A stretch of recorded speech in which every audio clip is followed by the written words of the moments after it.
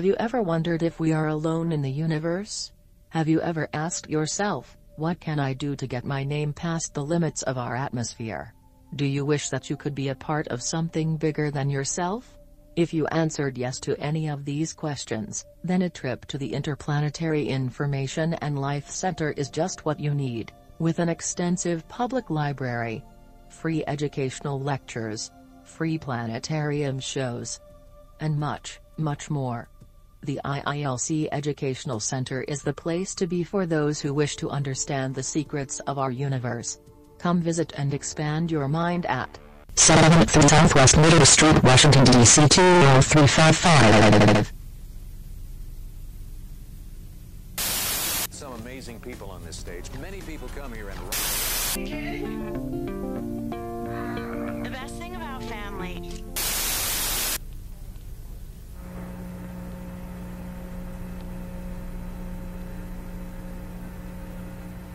Beautiful view. Isn't that something? Magnificent sight out here. Magnificent desolation.